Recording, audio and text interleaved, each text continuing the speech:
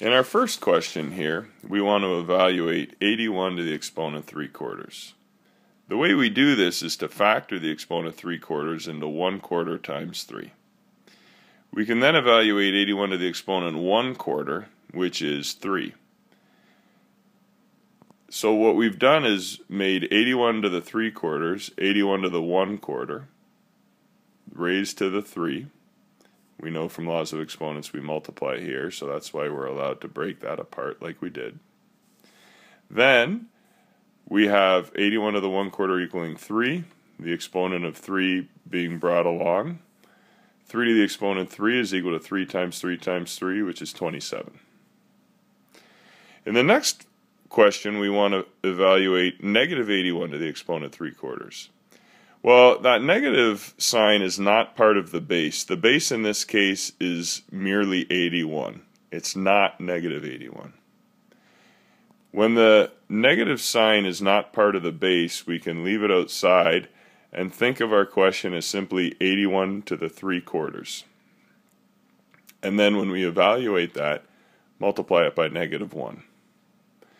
Well, we evaluated 81 to the 3 quarters a moment ago. 81 to the 3 quarters is 27. So negative 81 to the 3 quarters is negative 27. And there we go. Now, our next question asks, what do we do when the negative sign is actually part of the base? In this question, the negative sign is part of the base. The base of the exponent is negative 81, not just 81. Well, that means we have to figure out the fourth root of negative 81 and then cube that.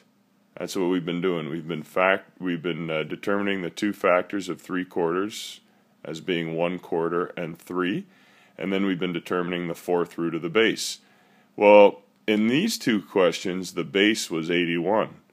In this question, the base is negative 81. So we're going to have to determine the fourth root of negative 81.